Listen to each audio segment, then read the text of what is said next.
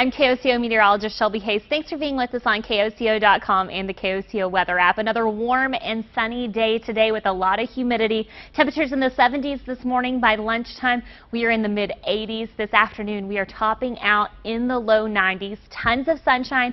South winds 10 to 15 miles per hour throughout the day today. And make sure you're grabbing that sunscreen as you head out the door as well. UV index very high, a 9.